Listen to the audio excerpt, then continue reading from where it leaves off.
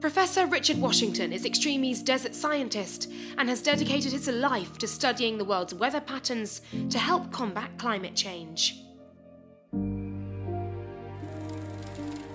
I grew up in a coastal city of, of, South Africa and it was an amazing place to grow up because one day it would be behaving like the tropics, so thunderstorms and then the next day cold fronts and then thunderstorms back again. And the winds would shift almost on a daily basis. And that converted then into a lifetime of studying the stuff to try to get to the bottom of the puzzle of how it all worked. My name is Richard Washington. I'm Professor of Climate Science at the University of Oxford. Looking back, one of the real game changers in, in my career was the simple act of buying a, a very old and half-broken 1969 Land Rover and heading out into the wilderness, and to the deserts of, of southern Africa.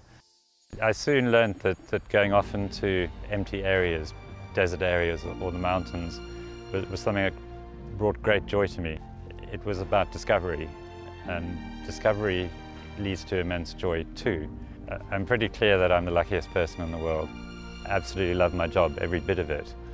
All the projects that we've been engaged with have brought discoveries of one sort or another and have helped with the problem of understanding the climate system, of understanding climate change.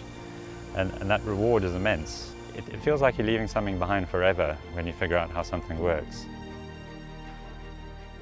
I study tropical climate systems mainly, uh, but also the desert systems of the world. And uh, I focus largely on the African continent.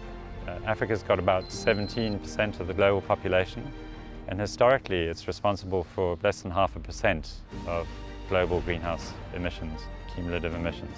And it's often said that Africa is going to be hardest hit by by climate change. So I, I, feel that sense of responsibility really to figure out how that climate system works and, and how it will respond in the future so that people can be forewarned and, and adapt as best they can. For years and years as a climate scientist we were spreading doom and gloom without solution to hand.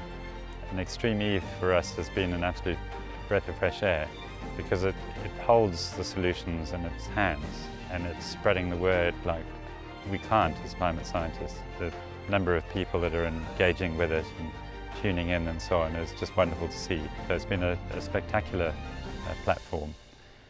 There's no doubt that I've been driven along by a deep appreciation of nature and its capabilities.